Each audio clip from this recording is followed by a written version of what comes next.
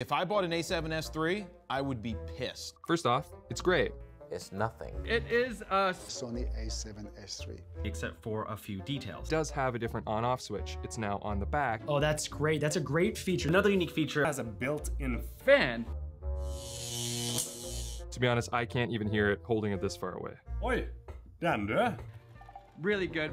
It does have tally lights on the front and back though. Yes, guys. Are you looking for the tally lights? The FX3 has S-Cinetone. S Cinetone, really. The A7S III will be getting that with a firmware update. Anything, anything else? The handle. The Top handle. You also don't need the handle to record audio, which is nice. You can just plug straight in. But there's just not really anything new here to get excited about. $400 difference between the A7S III. So overall, I like this camera.